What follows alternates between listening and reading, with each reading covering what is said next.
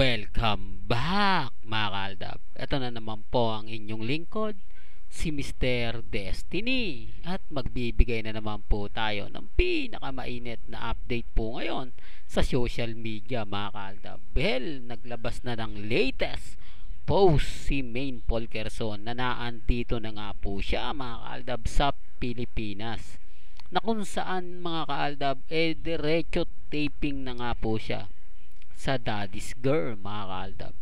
Marami na naman pong komento, marami na naman pong post picture ang kumakalat ngayon. Hindi na naman po pabor siyempre sa Aldab Nation. Ito yung point ko lagi mga kaaldab na kapag may post po si Mengay, talagang literal na gagantit gaganti sila. Hindi nila may wawala na hindi magkasama yung dalawa, si Congressman Ispate, eh, yung tipong ganun mga kaldab. Kaya nga po kapag walang update si Mengay, wala pong update ang Armin eh, at main fanatics, di po ba? Kasi si Mengay lang po talaga yung inaasahan nila na magpo-post kay Congressman Spotted. Samantalang si Congressman Spotted, may post po ba? Ito lang po yung tao na wala po talagang kaamor-amor mag-post patungkol kay Mengay. Pero pag kay Enchong D ay sigurado mga kaalda, 101% pinopost po lagi siguro niya yan. Pero siyempre wala po ako sa posisyon para ipilit yan ha. Ang sa akin lang, eh dito tayo sa mga throwback video. Off-cam, di po ba na sinasabi ko nga po mga kaaldab, dito pa lang panalo na po tayo eh hindi po ba? Sino nga po ba? O si Richard Polkerson lang po talaga ang may karapatan. Kay Main Polkerson di po ba? Common sense na lang po sa mga hindi po nakakagets ng punto na to di po ba? Pupunas ng tissue sa balikat. Di po ba? Ayan ba walang relasyon? Sa tingin nyo mga kaaldab ito po ba yung walang relasyon? Ha? Ano na ano pero syempre, marami lagi nagre-react, marami nagko-komento. Throwback na naman niya, Mr. Destiny. Kumbaga, alam na namin niya, matagal na yan. Etc. Etc. Hindi na kami kinikilig dyan. Wala na kaming kilig dyan. Kumbaga, matagal na yan. Dapat yan. Tinatago na sa baol. Dito lang po kasi natin mapapakita yung katotohanan. Dito ko lang po kasi maiyahayag yung kaganapan ng dalawa kung saan nga po ba nagsimula si Baby Teo at kung papaano at kung ano po ang naging relasyon nila Main Polkerson at ni Richard Polkerson. Kung titignan nyo po kasi ngayon sa social media, di po ba napakarami at kumakalat na nga po na sinasabi nga po, nagsimula ito kay Christopher Min eh. Kumbaga, marami na mga Alden fanatics na kisawsaw. Sinabi nga po daw ni Alden na ganon magkaibigan lang po daw talaga sila ni Mengay wala po raw silang anak wala po raw silang naging relasyon. Tanging co-worker lang po talaga. Love team lang po daw mga kaaldab. Yun lang po yung pinunto ng dalawa. Pero siyempre mga kaaldab hindi naman po natin babasagin yung mga yan dahil alam naman po natin yung katotohanan na hindi po talaga po pwede magsalita si Alden Richards sa public. Dahil alam niya na maraming masasaktan, di po ba? Alam naman po natin na kapag tinatanong siya, lagi siyang single. Single naman po talaga si Alden Richards. Ang taken lang taken naman po talaga ay si Richard Polkerson Jr. Di po ba? Real talk to mga kaaldab.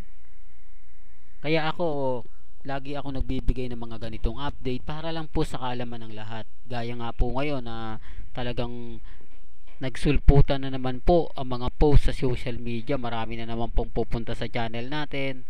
Marami na naman pong magre-react. Marami na naman komento. Ito na pinost na naman ni Mengay. Nagpost na naman si Mengay patungkol kay Congressman Spotted sa tingin nyo po ba mga kaaldab umaayon po talaga sila? Kasi pag walang post si Mengay hindi po nila inuunahan. Alam naman po natin at alam naman po ng lahat kung sino talaga ang may hawak ng social media account ni Mengay. Kaya nga po hindi ito pinapasukan ng advertise eh. Di po ba? Magugulantang po kayo. Bakit si Main Polkerson lang ang hindi kumikita sa kanyang Instagram? Di po ba? Hindi po katulad ng ibang artista nasa top 10. Eh si Mengay hindi nga po ma- wala po talaga kahit sa top 100 ng kumikita po sa Instagram. dahil alam ni Mengay na hindi niya naman talaga admin yun eh. Kumbaga may humahawak po ng account niya itong admin. Di sa admin lang pasok ng ano hindi po sa kanya. Kaya hindi niya kumbaga bihira siya mag-post, di po ba? Doon lang mapapansin niya yung kakaiba, di po ba? Hindi katulad ng ibang may Instagram talagang ang sisipag, ang, bibig, ang bibilis magbigay ng update, lalo na po sa social media. Pagdating kay Mengay, wala eh, di po ba? Ito yung sinasabi ko na talagang ayaw niya. At kay Congressman Spotted, minsan nga rin to mag-post pagdating kay Mengay. Tamad din po si Congressman Spotted, no? Kahit na marami mga army main fanatics ang sumusuporta sa kanya, hindi niya binibigyan ng ano, yung tipong ito, magpo-post ako ha, ganto ganyan, di po ba? Para talagang pinababayaan niya lang parang sinasabi niya bahala na kayo dyan alam nyo nang gagawin nyo malalaki na kayo basta ako rito happy di po ba? Real talk mga kaldab. Kaya doon po sa mga magre-react na naman sa mga babasag na naman po sa mga ina-upload natin normal lang po yan. Basta ako mga kaldab kampante matatag na ano man po yung gawin nila ano man po yung sabihin nila eh hindi na natin papansinin yan. Basta importante lang dito mga kaaldab eh maging updated po kayo pagdating po sa social media kung ano po yung mga kaganapan eh dapat po alam po ninyo lalo na po kapag ang pinag-uusapan o ang topic nga po natin eh sina Richard Polkerson at Main Polkerson real talk ta mga kaaldab kahit ano po siguro yung mga kumakalat ano man po yung maging komento eh tignan na lang po natin basta ang importante lang naman po mga kaaldab maging updated po kayo pagdating po sa social media. Di po ba? Well, may kanya-kanya tayong pananaw at opinion ha. Ulitin ko lang po dun sa mga taong bulag at bingi sa katotohanan sa mga taong hanggang ngayon po ay naninira sa Aldab. Okay lang yan. At least tayo may ebidensya, may resibo, although sabihin natin matagal na yan kahit naman gaano katagal yan. Ang importante lang naman po mga ka-Aldab eh dito po ito totoo. Wala pong panlilinlang, wala pong pang edit talagang normal na normal lang po yung mga kagalawan. Ulitin ko yung ginagawa po ni Richard Polkerson kay Mengay sa tingin niyo po ba? Real talk. Alam ni Mengay na maraming nanonood po sa kanya kaya medyo naiilang po siya di po ba na punasan ni Richard Polkerson. Pero talagang pag gusto ni Tisoy gusto talaga di po ba? Common sense na lang po ah sa mga tao ayaw hindi pa rin po naniniwala. Sinasabihan fake news tayo okay lang yan. Kasi kumbaga ako mga kaldab eh immune na pagdating sa mga ganyan. Kumbaga hindi na tayo tinatablan. Hayaan na lang po natin sila. Basta ang importante eh, dito po kayo. Kay Mr. Destiny manood ng mga update.